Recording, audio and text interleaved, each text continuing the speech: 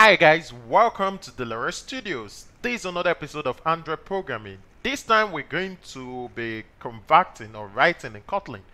I will be doing this in our project which speaks more about uploading media file to the server using retrofit.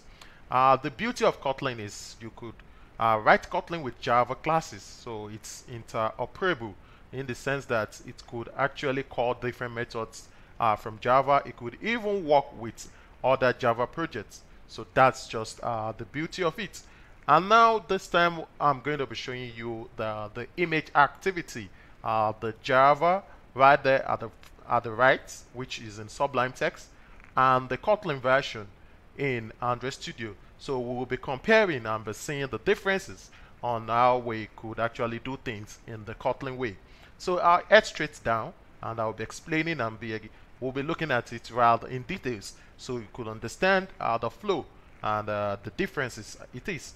In the Java class, we have the image activity that extends app and implements the view on click listener. And uh, right there in Kotlin, you could see how this is done in the shorthand form.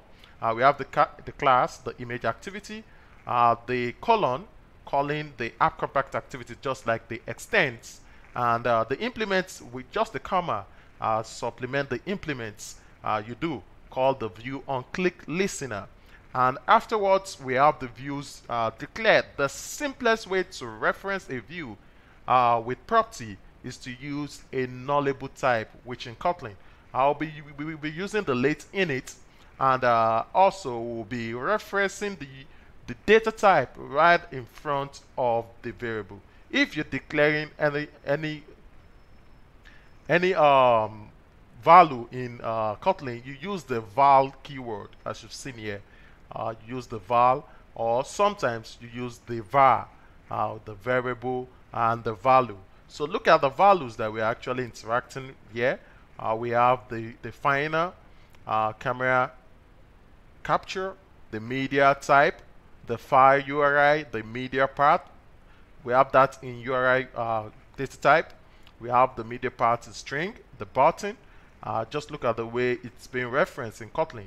We have that in URI. We have the string, the button. Uh, you write that right in front of it, and you should set that to null because Kotlin actually takes cognizance of null from onset. So with that, you're good to go, and uh, that uh, declares uh, the uh, the values after that, we have the onCreate method. The onCreate method, right there in Java class, you could see it, uh, where you set the content view, the point at the different views, you initialize it, set listeners to it. Uh, the same flow, but once you're calling uh, the override, you know, you have to override the onCreate method. You just point down the override, and anything called void, use the font uh, for void, which you have it right there, or onCreate so you pass in the save instance state just like the way you pass that into the Java class as you can see. Uh, this is just a shorthand from and you pass in the bundle. To call the onCreate method, you set the contents uh, view. You initialize the views just like the way you do uh, right there. Find view by ID. No need to actually write uh, the image view in in, in, in parentheses before the find view by ID. Just point that as the image view as button and the upload as button. You set them, click listener to as well and you pass in the dialog uh, so that the dialog could be initialized. So that's that for the onCreate method. Let's get to look at other methods uh, right uh, which we have. We have the onClick method which uh, is actually going to take cognizance when you are picking the image and uh, it's uh, going to give you the the room to either select the image or you're going to take that from camera. That's the the image picker, the, the material dialog, which is used. Now let's look at this closely. Uh, right there in the Java class, we could see the difference. We have the switch uh, called the case of the pick image if it's pick image and if it's for the upload based on the click of the button uh, being triggered. When you have the pick image, you instantiate the material dialog. You're passing the attributes in there, the title, the items array, its ID, and the callback, which you override the on selection and you also use the switch statement to iterate through which selection made probably the first case which is the case 0 down to the last let's look at that in Kotlin in Kotlin right there, let me expand this so we could see that much more visibly. In Kotlin, the the switch statement replaces with the when when the ID in the short form. No need of writing uh, repeating those IDs because you've actually declared that earlier on. And when the ID is pick image, you call on the dialog, you set the title and the corresponding attributes as you, as you have. The same thing goes right there in the override. Now you don't have the override, you just have the callback, which calls the dialog, the view, the which, and text, which you also pass right there, and which is the statement of the uh, of the switch, which you have it as when the switch in Kotlin is called when. And if you look at how simple it is, you point down at the different IDs of the uh, switch statement, the first, the zero, uh, which points down to the picker to select uh, from gallery. You could have that, you could see the chunk of uh, of the body to actually do that, just wrap around uh, the curly braces. And the second is when you're actually calling the camera, the camera device to get the image for you. You have the capture image method, which is going to run. And the last is actually setting a default image to the resources, which you have as the index as well, which show that. And look at the second switch of the outer, which is the upload, just points down to the upload file. You could see how this is quite different from uh, the onClick method we have in Java. Yeah. Let's move further.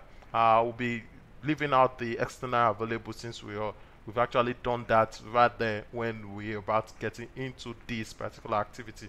Now let's get to look at the on activity for results.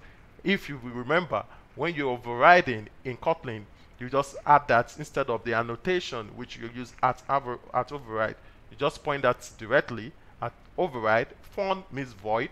On activity for results, now you're passing those attributes. Look at the way the attributes have been passing. The request code is an int, the result code an int, while the data itself is an intent, just uh, the way the request code, the result code, and the data.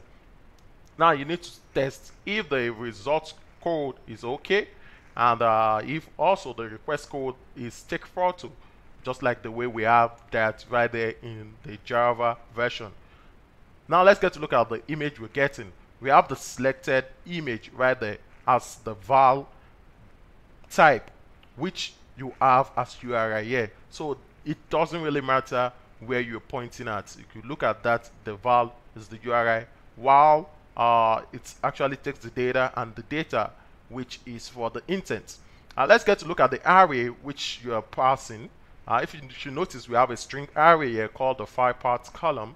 And if you're looking at the Kotlin version, it's passing the array off instead of uh, really bringing out the the the brackets of the array here you just have the value uh, which could be anything. Even the same thing come uh, when it comes to the cursor you also have the value the cursor.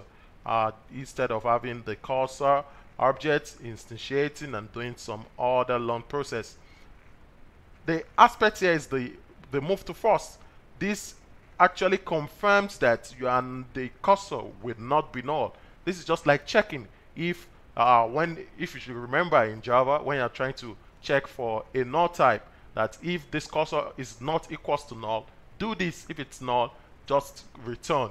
Now this is just what it's doing. Trying to test the cursor if it's not null and it moved first to actually get the the, uh, the values extracted. So the val is also used here. So you don't actually need to start specifying a different uh, kind of just stick on your val. If you are need to declare that right there as a global scope you add the URI you add a string or integer right at the front of it and set that to null. This is a nullable type but if you are right there in the method you declare your val and you're good to go. So that's wraps it up for the activity uh, result. Let's get to look at the initialized dialog stance the protected font as the protected void as we all know. Uh, let's get to look at the that's one aspect I want us to look at. The other aspect still stands, just that you have the var, the variable, and the shorthand form of the instance. Look at this uh, photo file, which actually sets that as a null, uh, nullable type. So it's actually not going to get that to null. If it's not going to be null, if it's going to be null, it's going to uh, catch that. Now let's get to look at uh, the That's one aspect I want us to do. The companion object. This is quite different from uh, the flow we've all known to be. It actually wraps as some bunch of uh, fields. The, the request take photo, the request pick photo, the camera pick request, and even the media type, the image directory name. It wraps that with the method get output media file as a companion object. So what is a companion object? Uh, Kotlin has classes uh, that have multiple instances and object for singletons. Uh, the companion object is an extension of the concept of objects. Uh, that is a companion that has a particular class and uh, it has access to its private level methods and properties. So that's just it. Uh, that's a, an, uh, a, a kind of object that has that have a, a companion like uh, that has an extension or or that actually uh, focus or look upwards to uh, its private level methods and properties. So they are still part of uh, the singleton uh, flow of your instances. So you have that the get output media type, which uh, you, let's get to look at these right there in the Java class. Uh, you the get output media type as the create image file. The get output media URI here media file. Look at it over here. So calling the integer type, you can see the type int and the file in question, which is the file uh, class. You can see there. So it's just like uh, a tweak to what we have in the Java class and the Kotlin version, all following in a parallel way. So you have the val, which is the uh, the the media storage, and uh, you get that uh, being uh, initialized. So you also you, saw, you also have the timestamp to get that done. So I would like you to go through these and also dig in deep into the Kotlin documentation. It's quite fresh, but uh, a lot of developers are embracing Kotlin, which is a shortened form of, uh, of, of, of, writing uh, Android applications. And I'll employ you to also convert other classes, uh, lay hands on the PDF, lay hands on the video, uh, try to uh, to get that uh, settled up and uh, wire it with the different Java classes you have and build your application and see if it crashes or run. Definitely it's going to run if you do everything correctly. So this is just uh, a brush down of how to get uh, the image activity which was asked uh, vividly from one of my good listeners out there to actually get this done in Kotlin. So we have the Kotlin version of the image activity.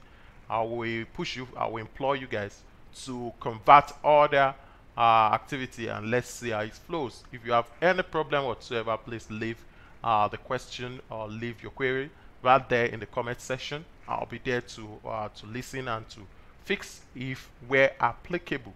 I'll also be committing this as a Kotlin branch right there in the GitHub so you could lay hands on it and compare with what you have. Thank you guys for hanging out with me throughout this video. I'll be showing you the, the screencast of this Kotlin version of the image activity. Bye bye for now.